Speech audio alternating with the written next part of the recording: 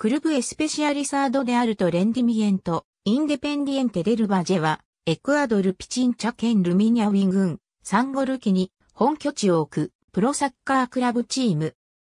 現在はエクアドルセリエに所属している。エクアドルサッカー連盟にクルブソシアルイデポルティーボ、インディペンディエンテホセテランの名称で登録されているが、商標名であるインデペンディエンテデルバジェの故障が使用されている。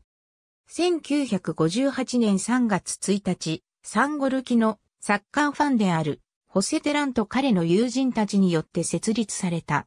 ホセテラン死去から2年後の1977年に、クラブは創設者の功を称えて、インディペンディエンテ・ホセテランに改名した。このクラブ名と初期のクラブカラーは、アルゼンチンの CA、インディペンディエンテに触発されたものである。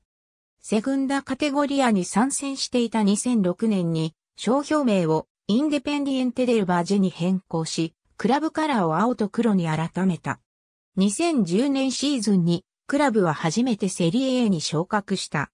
2016年、インデペンディエンテデルバージェは CA リーベルプレート、アナム、ボカジュニアーズを次々と下して、コパリベルタドーレス2016の決勝に進出。アトレティコナシオナルに敗れて準優勝となった。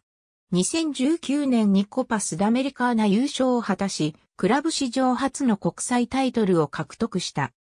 2017年12月28日現在中、選手の国籍表記は FIFA の定めた代表資格ルールに基づく。ありがとうございます。